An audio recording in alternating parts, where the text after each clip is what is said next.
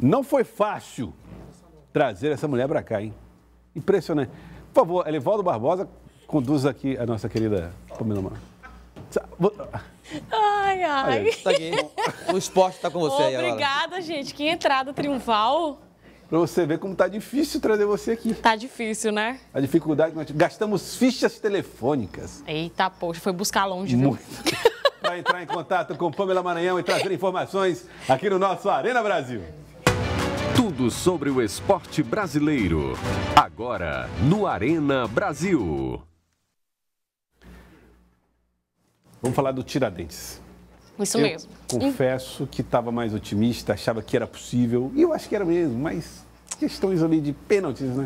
Pois é, foi no detalhe, né? Infelizmente, as Minas do Tiradentes encerraram de forma muito precoce sua participação no Campeonato Brasileiro Série 3. Ficaram no empate sem gols no tempo normal contra a Associação Polivalente lá do Tocantins. E na disputa de pênaltis aí acabaram sendo eliminadas e de forma muito rápida, né, encerram aí essa caminhada dentro da competição nacional. A gente lembra essa competição é a única competição nacional do futebol feminino para o estado do Piauí, né? As, as Minas do Tiradentes eram nossas únicas representantes dentro desse Campeonato Brasileiro Série 3, em que elas brigavam aí pelo tão sonhado acesso e logo na primeira fase, na primeiro momento ali da competição, já são eliminadas, né? Primeiro jogo lá em uhum. Palmas foi 1 a 1, em Teresina, empate sem gols e a definição nos pênaltis acabou que as piauienses levaram levaram a pior.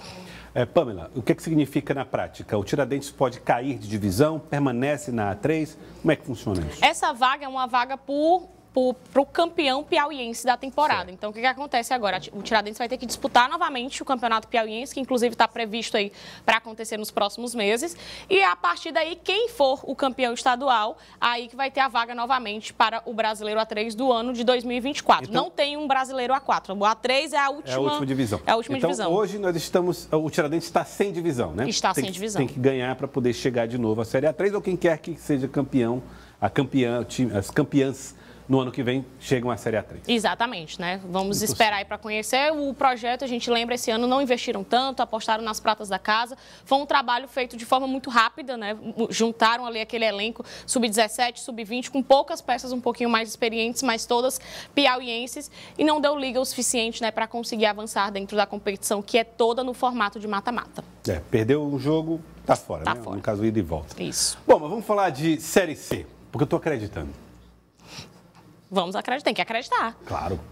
Série C vai começar, estreia Altos contra o Figueirense. É isso mesmo, né? A equipe do Altos estreia no, na quinta-feira, essa semana já acontece a estreia da equipe do Altos, pensando na competição na Série C. A gente lembra o Altos que está com uma fase longa de preparação, dá para dizer até que é um privilégio, né? São uhum. 30 dias ao total de trabalho, comandados aí pelo técnico Gerson Testoni. Passou por muitas alterações, mas chega bastante confiante, assim uhum. como o Joelso Jordani, para essa Série C 2023, né? A equipe do Altos, que a gente lembra, nunca conseguiu chegar a uma segunda fase da competição, está no terceiro ano consecutivo de disputa, mas sempre ali brigando contra o rebaixamento. Esse ano os atletas são com um discurso um pouco mais confiante e motivado para conseguir fazer um algo a mais, apesar da equipe do Altos, entre as 20 equipes que disputam a competição, ter um dos orçamentos mais singelos, vamos usar esse termo, não um orçamento mais enxuto, né? Já que esse ano também é um ano sem tantas cotas de participações para a equipe do Altos, já que o Altos ficou fora aí de Copa do Brasil, de Copa do Nordeste.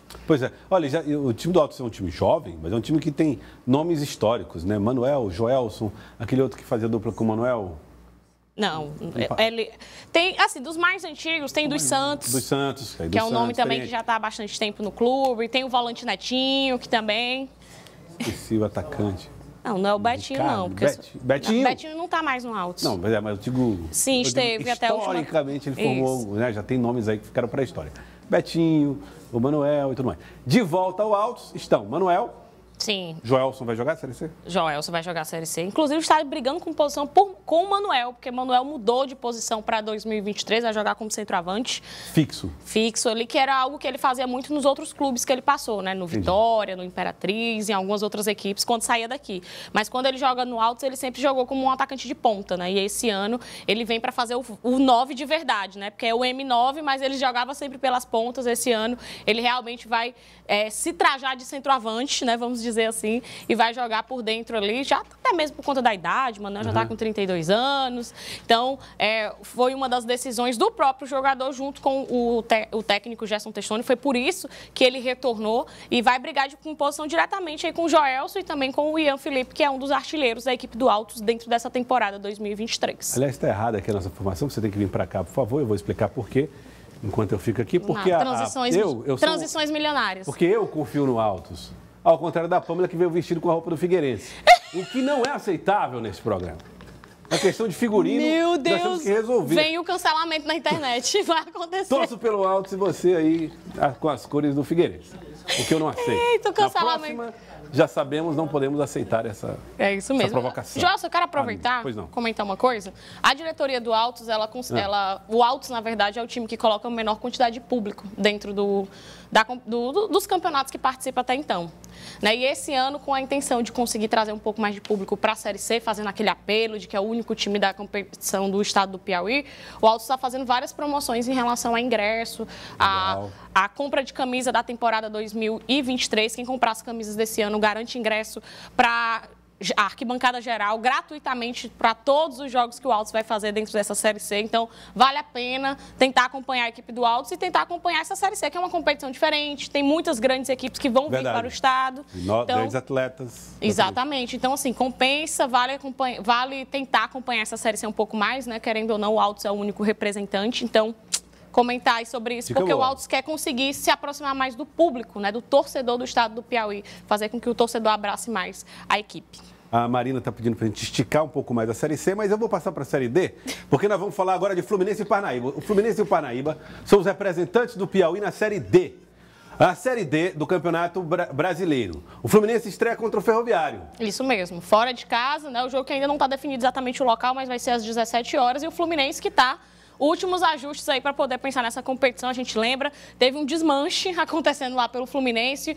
O Eduardo está naquele processo de remontada, o técnico Eduardo pensando aí nessa competição. E por conta disso, é, o Fluminense. Existe uma, uma vamos dizer, uma coisa, algo meio nebuloso em torno dessa expectativa de estreia, né? A gente não sabe muito bem o que esse Fluminense tem a oferecer por conta dessas muitas trocas que aconteceram faltando pouco tempo para começar a competição, né? O Eduardo está tentando trocar o pneu com o carro andando e essa estreia logo de cara um time muito complicado, que é um time do técnico Paulinho Kobayashi, que todo mundo por aqui conhece bem, porque comandou já algumas equipes aqui do estado, o Altos, o próprio River, já foi campeão piauiense e tem um ferroviário que chamou muita atenção na Copa do Nordeste, né? Verdade. Inclusive com grande grandes artilheiros, que é o caso do Ciel, e o Pulga, que agora está defendendo a equipe do Ceará. Então é um time que é bem mais organizado já e que não se desmanchou tanto pensando nessa Série D, diferente do Fluminense.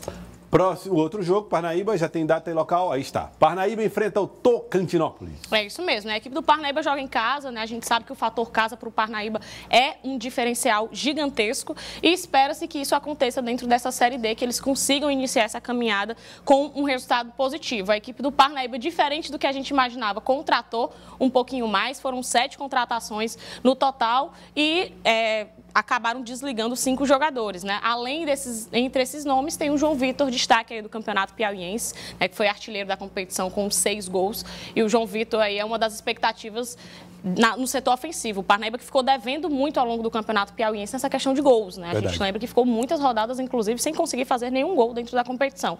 É uma, da, uma das missões do técnico Oliveira Canindé conseguir fazer com que esse setor ofensivo deslanche um pouco mais e de cara, né, enfrenta aí a equipe do Tocantinópolis em casa e quer começar essa caminhada com o pé direito. É Fluminense e Parnaíba na Série C, Altos na Série B. É assim que eu termino com Na Série B, com fé em Deus. É, profetizou ele. Profetizei. Então, Profetizou. Aí. Grua para a Pamela, grua.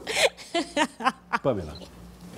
Não, hoje, hoje, se existia roteiro, né, ficou... Valeu, Ficou Pamela. com Deus. Pamela trazendo as informações do esporte aqui para nós. Pamela Maranhão.